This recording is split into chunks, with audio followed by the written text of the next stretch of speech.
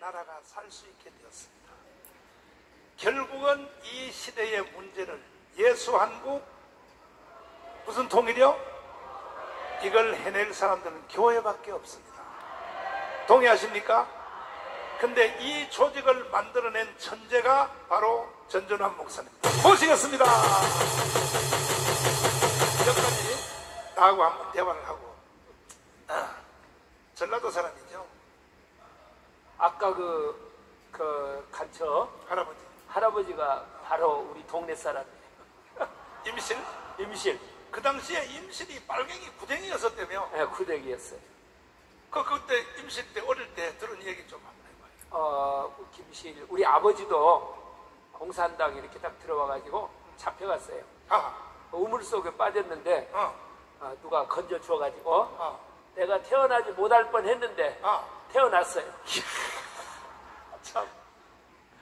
그리고 그 어, 우리 그 우리 그 외삼촌은 임실의 그 간첩들이 굉장히 많았거든요. 빨치산들이 아, 그 토벌대에 나서가지고 활동을 했어요. 아, 그런데 그들 가운데서 많은 사람들이 죽었거든요. 응. 우리 뭐 큰아버지는 어 그때에 그 아들이 아들이 그 어디야 그 논에서 일을 하다가 아, 갑자기 그 총에 맞아 죽었어요 이민군한테. 그렇게 했는데 집에 계시다가 할아버지가 또 거기 가서 어. 그 아들을 들고 나오다가 나오다가. 또 총에 맞아 죽었어요. 헤, 헤. 그래가지고 집안이 어, 어, 많은 사람들이 어. 빨치산들에 의해서 죽었고 어. 어, 그래서 참 가슴 아픈 그런 일들이 많이 있어요. 근데 영광이 되든지 예. 이 인민군이 6.25 때 내려올 때 휩쓸고 간 지역이 이 예. 전라도인데 예, 전라도가 제일 많이 죽었거든. 예, 부산하고 대구는요 낙동강에서 막혀서 희생자가 적었어요. 적었는데 그런데 전라도가 제일 빨리 희생을 많이 당했는데 왜 전라도 목사들이 북한을 제일 좋아할까? 예. 그거 설명 좀 한번 해봐요. 왜 도대체가. 한번 설명할게요. 그래 설명해봐. 저는 광주에서 7년 동안 목회했습니다. 어제 저녁에 잠을 자고 딱 일어나니까 바로 옆에가 제가 개척했던 교회가 있더라고요. 20대 때 교회를 개척했는데 광주 세안교회라고 제가 그 교회를 개척을 했고 7년 동안 제가 광주에서 전도사를 하고 강도사를 하고 서울로 올라가서 제가 목회를 하게 되었는데 사실이요 제가 이번 한 주간 동안 우리 지금 교회 총회를 하고 있잖아요. 맞아. 대전에서. 총회를 하고 있는데 도저히 여기를 올 수가 없었어요. 올 수가 없는데 광주를 한번 꼭 가야 되겠다. 그렇게 해가지고 어제 밤에 투표하고 이리 내려왔습니다. 오늘 다시 올라갈 건데 전주 들렸다가 가려고 그럽니다. 사실요, 우리가 어렸을 때 이렇게 보면 사실 자유민주주의 이승만 그 대통령을 지원했던 세력이 호남 세력 아닙니까? 맞아. 호남 세력이 자유민주주의 시장 경제를 주축으로 했던 이승만 대통령을 지지를 했어요. 그래서 호남 사람들이 아까 목사님 말씀하신 것처럼 김성수나 이런 분들 또 대법원장이었던 김병로라든지 송진우라든지 이런 분들이 다 호남 사람들이거든요. 그런 나라를 세우는 일에 앞장을 섰어요. 그리고 호남에는요 교회가 굉장히 많아요. 저 경상도 쪽에 가보면 교인이 9%도 안 돼, 9%. 절 많고. 그리고 호남에 오면은 거의 40%. 40%가 넘습니다. 여러분 아시죠? 그래서 옛날에는 특별히 경상남도하고 이 전라도하고 교회를 지키고 나라를 지키는 일에 우리 호남 지역이 앞장을 섰어요. 앞장을 서가지고 나라를 이렇게 세웠는데 그래서 손양원 목사님도 주기철 목사님도 나오고 호남에서 또 많은 특별히 우리 아침에도 내가 밥을 먹어서 이야기를 했는데 호남에는요 기독교 중에서 아주 좋은 씨앗이 들어왔어요.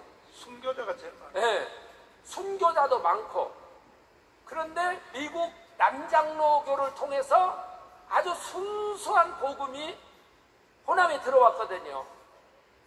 그런데 옛날에는 제가 어렸을 때는요 경상도 분들이 호남에 와서 뭘 했느냐 머슴살이 한 사람들이 많았어요. 땅이 많으니까 여기는 땅이 많으니까. 그래 맞아. 저희 동네도 경상도 사람들이 와가지고 충청도 사람들이 와서 머슴 산 사람들이 많았어요. 그리고 그때는 경상도하고 이렇게 호남하고 서로 싸우지 않았거든요. 호남 지역의 큰 교회 목사님들이 경상도 분들이 와서 목회를 많이 했어요. 그 대표적인 교회가 어디냐? 여수 제일교회예요. 그때 당시에 어렸을 때 그런데 희한한 일이 생긴 거예요. 무슨 일이 생겼느냐? 이 호남 지역에 호남 지역에 왜 이렇게 되었는지 모르지만은 제가 광주에서 교회를 개척을 하고 서울로 갔거든요. 서울로 가니까 진짜 호남 사람들을 무시하더라고요. 여러분 광주에서 사니까 잘 모르죠? 잘 몰라요. 빨갱이라 그래 빨갱이. 어, 빨갱이 정도가 아니에요. 딸을 주지도 않아요. 결혼도 못하게 해요. 이사 가면은 제가 교회를 개척하면서 봤잖아요. 아니, 나는 서명하고 결혼했다니까 그래 자꾸. 그렇게 해가지고 이렇게 하는데 오늘 또 제가요 어제 저녁에 늦게 와서 송정리에서 차를 타고 딱 오는데 택시 기사님한테 우리 장로님 보고 물어봤어요. 그때 우리 장로님이 하, 이재명이에 대해서 물어보니까 이 택시 기사님이요 이재명이가 얼마나 깨끗한 사람인지 모르겠다는 거예요. 검찰이 그렇게 나서서 탈탈 털어도 뭐가 나오냐는 거예요. 아, 그 택시 기사님이 그러더라니까요. 그래서 우리 장로님이 옆에서 그 말을 듣고 있다가 보니까 우리 장로님 한번 일어나 보세요. 이분은 경상도 분이거든요. 싸울 것 같더라고. 장로님이 절제를 다 하시고 저녁에 와서 잠을 자게 되었어요. 근데 저는요, 호남을 사랑합니다. 저는 호남을 사랑해요. 왜? 내 고향이니까. 그리고 호남 사람을 사랑해요, 제가요. 사도 바울이 내 민족이, 맞아. 내 민족이 하나님 앞으로 돌아올 수 있다면 내 생명책에서 내가 지워질지라도 원하는 바로다 그랬잖아요. 근데 왜 이렇게 이렇게 호남이 되었을까? 언제부터 여러분 그랬습니까? 김대중이 때부터 그랬어요. 그렇죠? 그때부터 호남이 이렇게 돼버린 거예요. 물론 호남 사람의 입장에서 한이 많죠. 대통령 한번 시켜봤으면 좋겠다. 그런 한을 우리가 가지고 있었습니까? 없었습니까? 있었어요. 근데 우리가 지도자를 잘못 만난 거야. 그래서 나도 한 번은 김대중 찍었다니까. 어! 한풀이 좀 해주려고. 네. 그래서 내 친구였던 아주 친한 친구들이 있어요. 저를요, 저를 정광훈 목사님한테 소개한 분이 계세요. 저를. 그분이 어디냐면 영주 사람이 영주. 지금 일본의 선교사로 여기 와서 부흥회를 전국적으로 많이 다니신 박승희 목사님.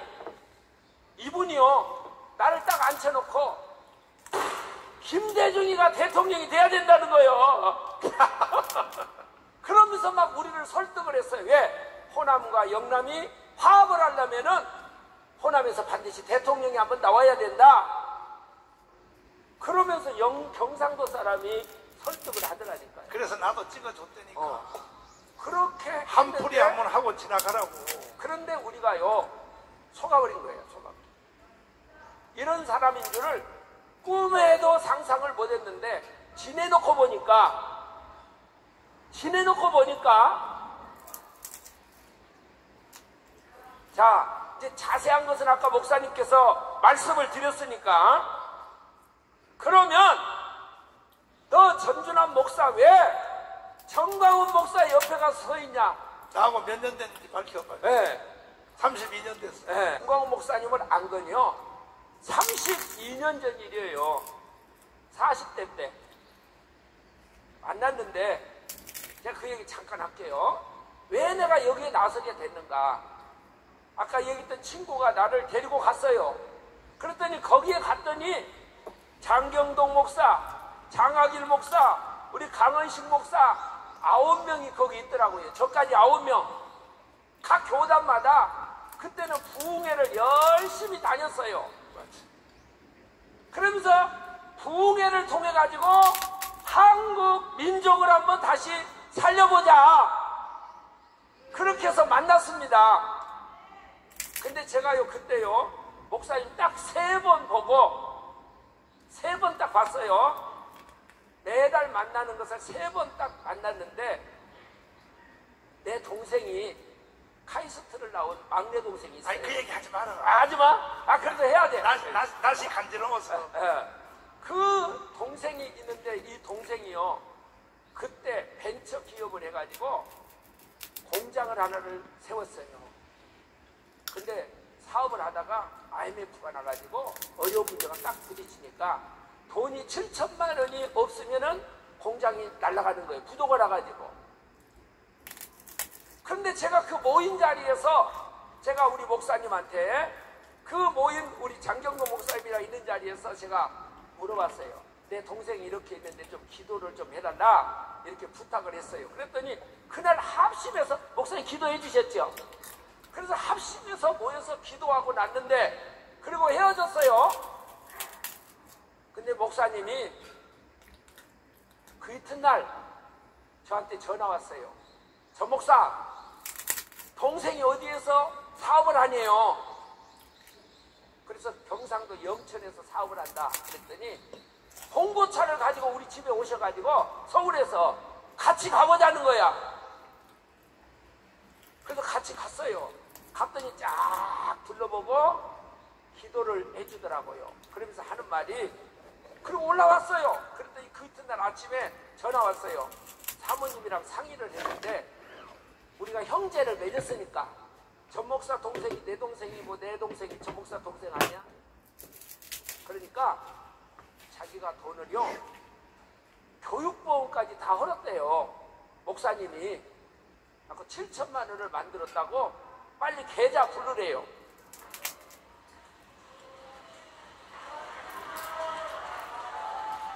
여러분 괜히 우리가 정광훈 목사님 만난 거 아닙니다. 할렐루야. 그래서 우리 동생이 살아났어요. 그런데 제가 그때 너무 깜짝 놀랐어요. 제가 7형제입니다. 그런데 어느 누구도 형제가 그렇게 할 수 있어요, 없어요? 근데 내가 거기서 더 깜짝 놀란 것이 뭐냐?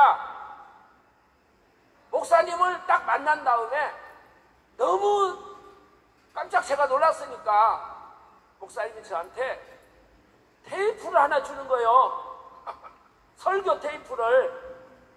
그래가지고 제가 그 설교 테이프를 하나를 딱 받았는데 만유 회복이라는 설교 테이프를 받았어요. 그래가지고 설교 테이프를 딱 받았는데 어? 그래서 설교 테이프를 또 달라고 그랬어요. 아마 대한민국에서요. 정광호 목사님 설교 테이프를 전준환 목사처럼 많이 들은 테이프 저 들은 사람은 저는 없다고 생각을 해요. 맞아, 맞아, 맞아. 그냥 들은 게 아니에요, 제가요. 어떻게 들었느냐? 그것을 전부 노트에다 다 기록했어요. 설교 테이프를. 그래가지고 설교 테이프를 다 하는데 보통 분이 아니야. 나는 요즘에 어떤 사람들이 그런 얘기를 해. 정광훈 목사 물어보 이단이니 어쩌니?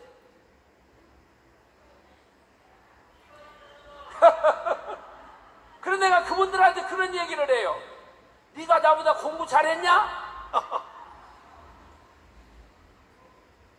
네가 얼마나 들어봤냐? 난 정광훈 목사님 설교 테이프를 들어보고요. 하, 이분 대단한 분이다. 여러분, 돈을 쓰는 것을 보면 그 사람을 알 수 있죠. 나는 그것보다도 정광훈 목사님한테 더 마음을 빼앗겼던 것은 말씀 때문이었어요. 제가 20년 넘게 30년 가까이 전국과 전 세계를 다니면서 부흥회 다닌 거 아시죠? 내가 광주에서 거의 다 교회 부흥회 다 했어요. 그런데 정광훈 목사님 설교 딱 듣는 순간에 제가요, 와, 보통 분이 아니에요. 근데 목사님이 어느 날 보니까 광화문 운동을 하더래, 광화문. 근데 솔직히 말씀을 좋아하고 그래도 내가 사실은 광화문은 어쩐지 안 가고 싶어. 제가요. 근데 금년에요. 장경동 목사님이 장경동 목사님은 꽤가 많습니다. 근데 그 목사님이 우리를 다 롯데 호텔에 불러놓고 자기 간증을 하시는 거야. 간증을 하면서 정광훈 목사님이 애국운동에 우리가 같이 동참하자. 아, 그러면서 이야기를 하는데 얼마나 가슴에 막 불이 붙었는지. 그래가지고 하나 나오고 둘 나오고 세 나오고 그래가지고 그 형제들이 다 옆에 나와서 여기 지금 장하, 여기 저 강은식 목사님도 평택 순복음교회 지금 총회장인데 나오시, 나와 계시잖아요. 할렐루야! 근데 사람이 일을 할 때는 자기가 잘하는 것을 해야 돼요. 자기가 옆에서 딱 붙어서 보니까 내가 할 수 있는 일이 있더라고요. 저는요, 총회를 오랫동안 다녔어요. 합동 측과 개혁 측이 하나 되는데 제가 결정적인 역할을 한 거 아시죠?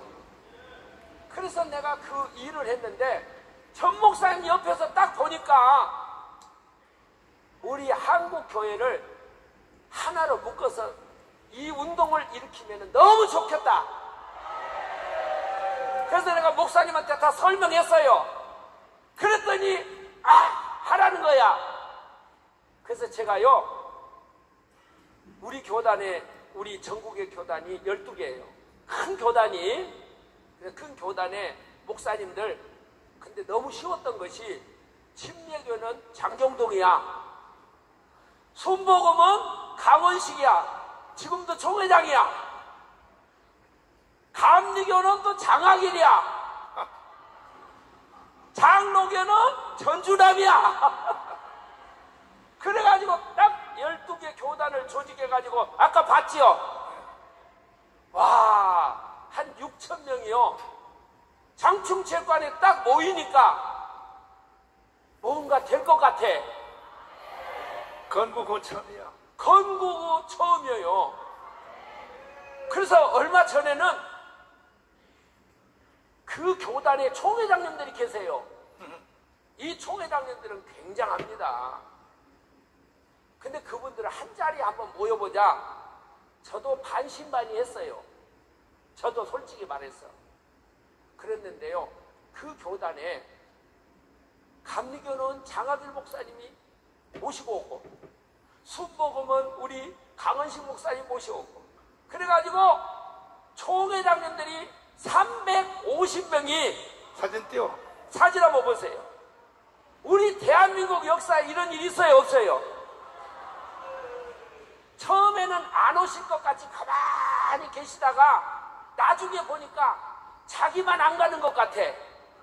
그래가지고 노아 방주에 막 몰려오는 것처럼 총회장님들이 다 모여와가지고 어떤 총회장님 사모님이요. 그 총회장님한테 그랬어요. 전라도 목사님이신데 총회장님이신데 당신이 왜 거기로 가냐고.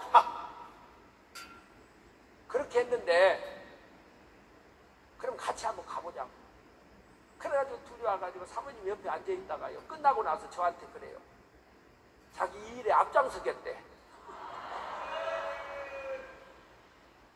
할렐루야 그랬더니 이제 12개 교단이 연합이 됐어요 정경총회장님들도 다 뒤에서 밀어줘요 그런데 여자 목사님들이 또 계시더라고요. 그래 지난 주간에 여자 목사님 대표들이 또 와가지고 저한테 사무총장님 자기들도 거기에 끼어달래. 그래서 지난 주간에 또 여자 목사님들까지 다 이제 합세를 했습니다. 할렐루야! 그래서 저는 여러분에게 마지막으로 제가 여러분에게 말씀을 드리고 싶어요. 제가 시골에서 보니까요. 시골에서 시골에서는 예수 믿기가 굉장히 어려워요. 그런데 그 시골에 있는 처녀들이나 사람들이 도시로 다 나가더라고요. 도시에 나가서 사람들이 갈 데가 없으니까 다 교회로 몰려서 서울 교회로. 그래서 여러분 제가 들어보니까요. 서울 순복음 교회 있죠? 순복 여의도 그 여의도 순복음 교회에 80%가 전라도 사람이래. 맞지. 나 놀랬어요. 그 서울에 있는 교회들은 다 전라도 사람들이 거기 가서 교회 세운 거예요. 맞지. 믿습니까? 우리 교회도 80%가 전라도예요. 아, 여기도 80%가 전라도 사람이래. 그런데 이분들이요, 시골에 와서 예수 안 믿는 부모들한테 다 전도를 하더라고. 그래서 제가 이렇게 전라도에 있는 목사님들, 제가 이름을 말하면 다 여러분 다 아는 분들이야. 친구들이니까. 전화하면 그래요. 전 목사, 열심히 해.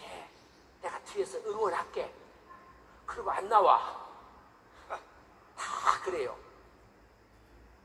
근데 제가 볼 때요, 서울에 있는 목사님들이 이제 끌어내야 돼요. 끌어내야 됩니다. 그러니까 제가 보니까 한 조금만 지나면은요, 전라도가 뒤집어질 겁니다. 다시 뒤집어질 겁니다. 할렐루야!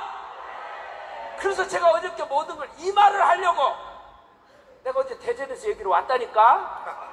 내가 좀 이따 전주 가서 또 이 얘기 할 거예요. 왜?